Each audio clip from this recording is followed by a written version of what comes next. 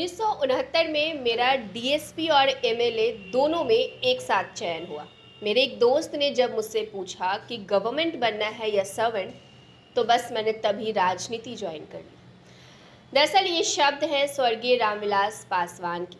रामविलास पासवान ने इन बत्तीस शब्दों में अपने राजनीति ज्वाइन करने की वजह बता दी।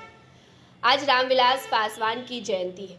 आज अगर वो इस दुनिया में होते तो आज उनकी उम्र सतहत्तर साल होती। रामविलास पासवान की जयंती को उनके बेटे चिराग पासवान आज पटना में और हाजीपुर, जो कि उनकी कर्मभूमि रही है, वहाँ मनाने जा रहे हैं। रामविलास पासवान का जीवन, उनका राजनीतिक जीवन काफ़ी सफल रहा। रामविलास पासवान को पद्म भूषण से नवाजा गया।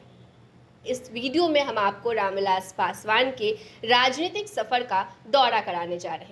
8 अक्टूबर 2020 को मंत्री पद पर रहते हुए रामविलास पासवान ने आखिरी सांस ली थी। 2019 में देश के संसदीय इतिहास में एक वक्त ऐसा भी था जब रामविलास पासवान अपने तीनों भाइयों और बेटे के संसद के सदस्य थे। मतलब एक परिवार के चार चार लोग मेंबर ऑफ़ पार्लियामेंट थे। तब देश के सबसे पावरफुल पॉलिटिकल फैमिली में पासवान परिवार को माना गया। मौसम वैज्ञानिक का नाम लालू यादव ने ऐसे दिया कि रामविलास पासवान के साथ और जीवन चिपका रहा। रामविलास पासवान को राजनीति का मौसम वैज्ञानिक कहा जाता था, क्योंकि वे चुनाव से पहले ही समझ जाते थे कि हवा किस तरफ़ बह रही। रामविलास पासवान उन गिने चुने लोगों में हैं जो कभी भी सरकार से बाहर हुए ही नहीं। वो तीसरे मोर्चे की सरकार में मंत्री बनते थे। एनडीए के सरकार में भी मंत्री बनते रहे। यूपीए के सरकार में भी मंत्री बने थे। दोबारा से एनडीए की सरकार में फिर मंत्री बने। रामविलास पासवान को सबसे पहले लालू प्रसाद यादव ने मौसम वैज्ञानिक का तमगा दिया। लेकिन उन पर किताब लिखने वाले पत्रकार ने अपनी पुस्तक रामविलास पासवान संकल्प, संघर्ष और साहस में इस बात को खारिज कर दिया। उन्होंने इसका सारा दोष बिहार के पूर्व मुख्यमंत्री लालू प्रसाद यादव के मत्थे बढ़ा था। वहीं आपको बता दें कि रामविलास पासवान अपने सियासी करियर में छह प्रधानमंत्रियों के साथ काम कर चुके हैं। पहली बार वो उन्नीस सौ नवासी में वीपी सिंह की सरकार में मंत्री बने थे। दूसरी बार उन्नीस सौ छियानवे में देव गौड़ा और गुजराल सरकार में वे रेल मंत्री बने थे। साथ ही उन्नीस सौ निन्यानवे में अटल बिहारी वाजपेयी की सरकार में रामविलास पासवान संचार मंत्री थे। 2004 में वे यूपीए से जुड़े और मनमोहन सरकार में रसायन मंत्री बने। 2014 में एनडीए में शामिल हुए और फिर नरेंद्र मोदी की सरकार में खाद्य आपूर्ति मंत्री बनाए गए।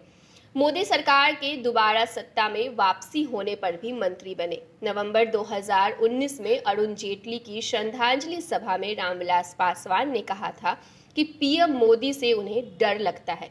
कोई बात कहने में झिझक होती है। हालाँकि फिर बात संभलते हुए उन्होंने कहा कि श्रद्धा के कारण वे उनसे कुछ नहीं कह पाते। दरअसल, अरुण जेटली और प्रधानमंत्री नरेंद्र मोदी की वर्किंग स्टाइल की पासवान तुलना कर रहे थे।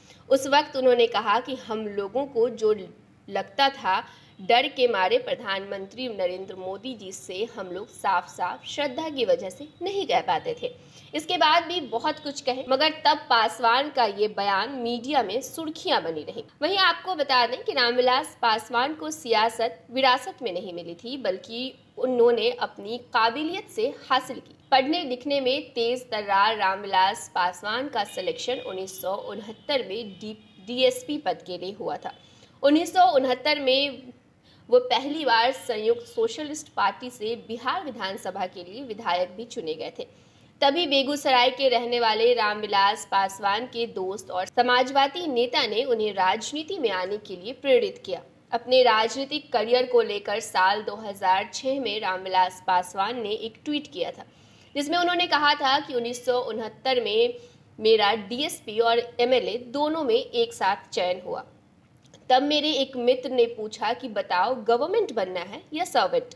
बस तभी मैंने राजनीति ज्वाइन कर ली। तब रामविलास पासवान की दिशा तय हो गई। हमेशा सूट, बूट और वेल मेंटेन दिखने वाले रामविलास पासवान ने बहुत आदर्शवादी राजनीति तो नहीं की, मगर बिहार के पासवान परिवार की हैसियत आज जो भी पटना से लेकर दिल्ली तक दिखाई देती है, उसकी बीज रामविलास पासवान ने ही बोई थी। फ़िलहाल के लिए इस वीडियो में इतना ही। तमाम बड़ी खबरों के लिए देखते रहिए फ़र्स्ट बिहार झारखंड अगर आप हमें फेसबुक पर देख रहे हैं तो हमारे पेज को फॉलो करें। अगर आप हमें यूट्यूब पर देख रहे हैं तो हमारे चैनल को ज़रूर सब्सक्राइब करें। साथ ही साथ कमेंट बॉक्स में हमें ये भी बताएँ कि आपको ये वीडियो कैसा लगा। लोग यहाँ दिल्ली बंबई में घर पर घर खरीदते जा रहे हैं। और एक ये साहब है कि अपना घर बेच दिए। वाह! रिटायरमेंट का पूरा पैसा लगा दिए थे दिल्ली में घर लेने के लिए। अरे बाबूजी तो अपना एक नया घर खरीद भी तो रहे हैं ना? नया घर खरीद रहे हैं? कहाँ? पूर्णिया में। पूर्णिया में? हाँ। अरे बाबूजी दिल्ली बम्बई में घर खरीदना अच्छी बात है, लेकिन अपने घर पे घर खरीदना बड़ी बात है। देखिए, पूर्णिया में पनोरमा सिटी और पनोरमा हाइट दोनों जगह का ऑप्शन उपलब्ध है। देखिए और बुक कराइए। मतलब अपने शहर में अपना घर। जी, बिल्कुल। अब कीजिए घर वापसी पूर्णिया के पैनोरमा सिटी और पैनोरमा हाइट में। पैनोरमा सिटी और पैनोरमा हाइट आपके शहर में आपका अपना घर।